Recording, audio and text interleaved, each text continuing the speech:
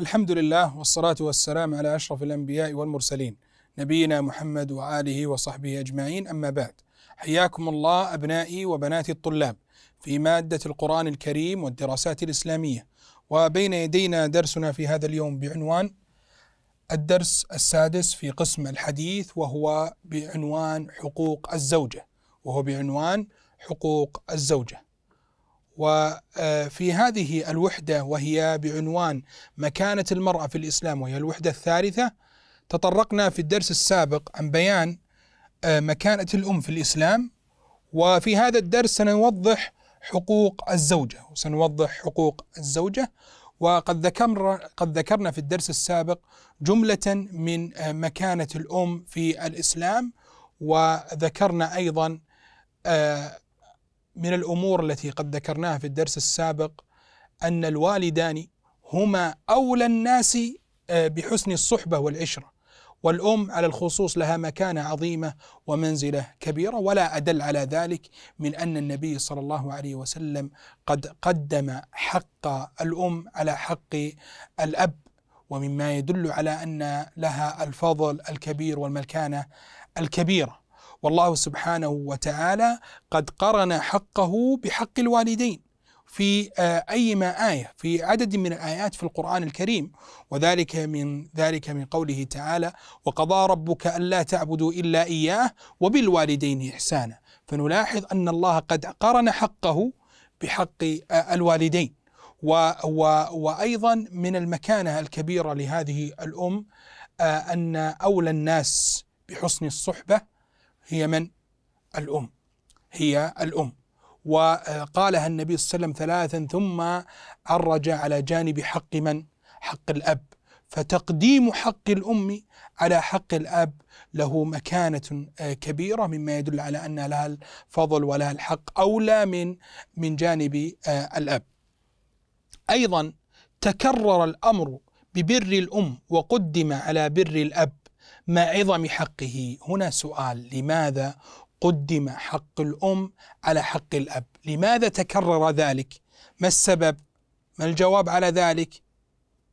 أحسنتم بأن نقول لأن الأم كان لها من التعب والمعاناة في الحمل والولادة الشيء الكبير. لأنها لما يتأمل الإنسان إلى حال الأم وما عانته في حياتها سواء في جانب الحمل أو في جانب الولادة أو في جانب التربية والعناية وكل ما تصنعه هذه الأم فإننا نجد أن لها الحق الأكبر والأولى في حقها وتقديم حقها كما جاء في هذا الحديث النبوي. لذلك ما جاء في من مما جاء في تقديم حقها لأنها تعاني وتتعب وتسهر الليالي لأجل طفلها ولأجل مولودها فتجد أنها تعاني. ليس فقط مقصورا في بداية حياته حياة هذا الطفل وإنما أيضا عندما يكبر هذا الشخص تجدها تعاني من جانب التربية وكذلك السهر وأيضا التعب وغير ذلك من الأمور.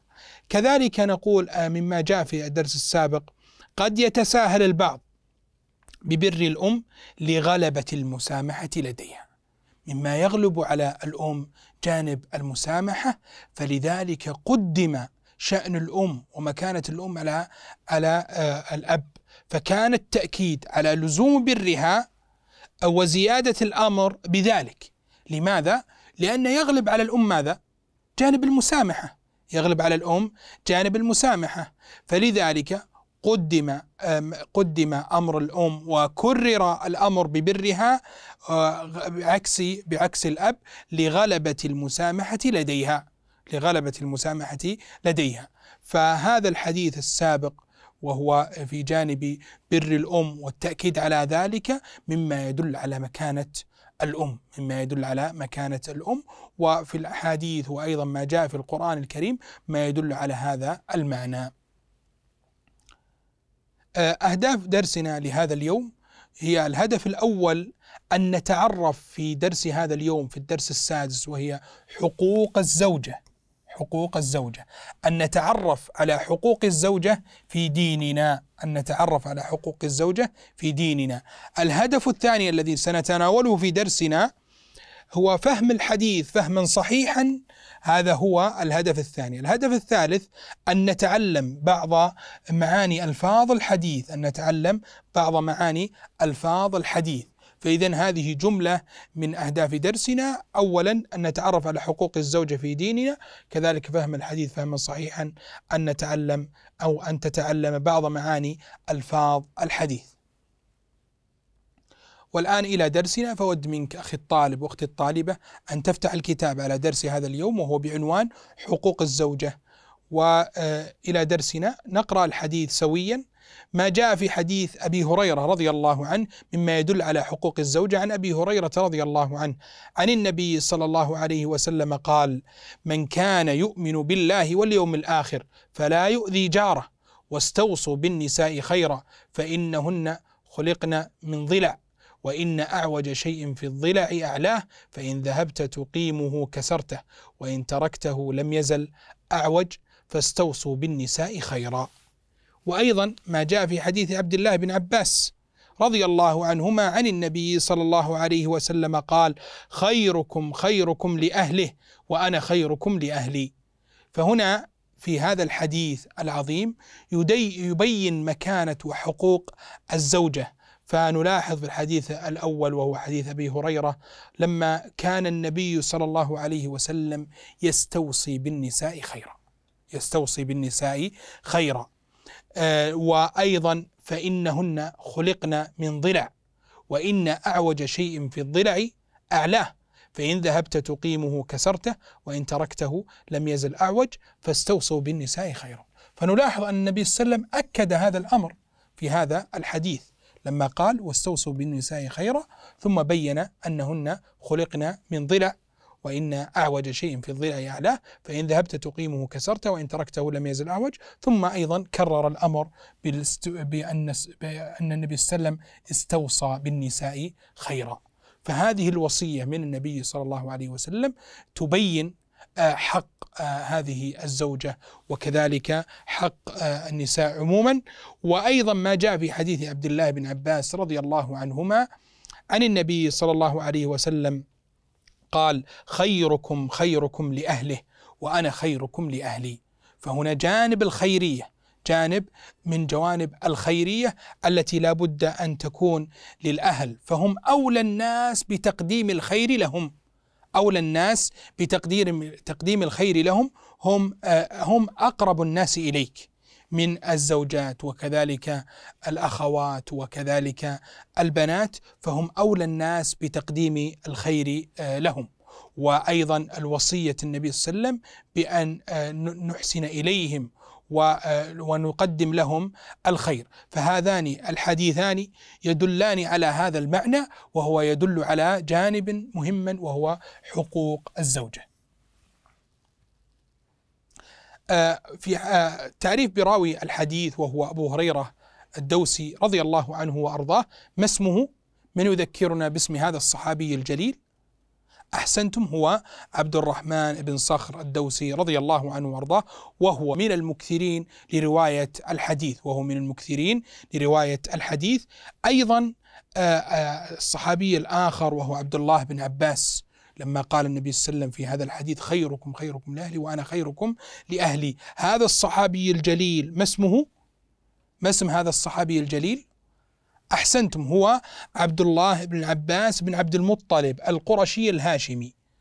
قرابته من النبي صلى الله عليه وسلم ما هي؟ هو ابن عم رسول الله صلى الله عليه وسلم. ولد قبل الهجرة بسنتين. ولد قبل الهجرة بسنتين دعا له النبي صلى الله عليه وسلم فقال اللهم فقهه في الدين فكان يسمى البحر والحبر يسمى البحر والحبر لسعة علمه.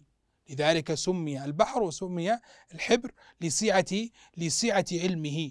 فرضي الله عنه وأرضاه. اذا هذا الصحابي الجليل وهو عبد الله بن عباس بن عبد المطلب القرشي الهاشمي وهو ابن عم رسول الله صلى الله عليه وسلم.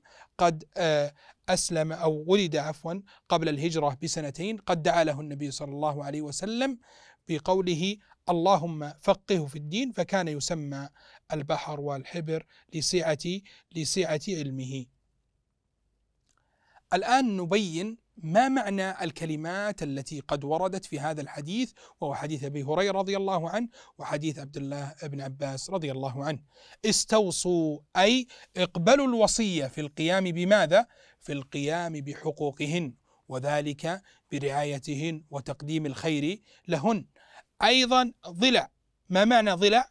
أحد عظام الصدر، أحد عظام الصدر وهو الضلع كسرته أي جاء مفسرا في بعض الروايات بالطلاق كما قال النبي صلى الله عليه وسلم وكسرها طلاقها وكسرها طلاقها. فإذا هذه بعض من معاني الكلمات الغريبة التي جاءت في هذا الحديث. استوصوا معناها أي اقبلوا الوصية في القيام بحقوقهن ضلع أحد أحد عظام الصدر كسرته جاء مفسرا في بعض الروايات بالطلاق. الآن نأخذ المعاني التي نسترشدها من هذا الحديث النبوي من معاني الحديث وإرشاداته.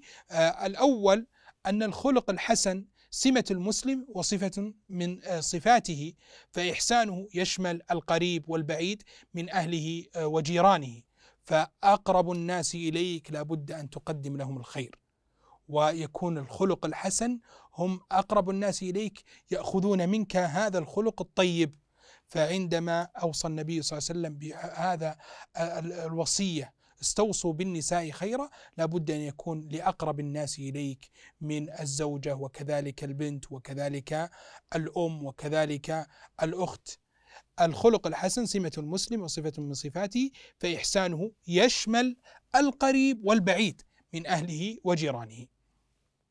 أيضا من الفوائد التي نسترشدها من هذا الحديث النبوي أوصى النبي صلى الله عليه وسلم بالزوجة خيرا. أوصى النبي صلى الله عليه وسلم بالزوجة خيرا. واستوصوا بالنساء خيرا. استوصوا بالنساء خيرا. أه وكرر الوصية بذلك. لماذا كرر النبي صلى الله عليه وسلم التوصية بالنساء خيرا؟ ما سبب ذلك؟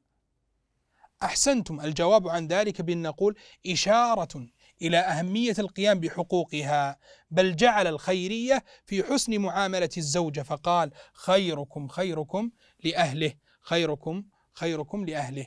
فلا بد أن نحسن التعامل مع الزوجة ونحسن التعامل مع أقرب الناس إلينا ونقدم لهم الخير ونقدم لهم الإعانة.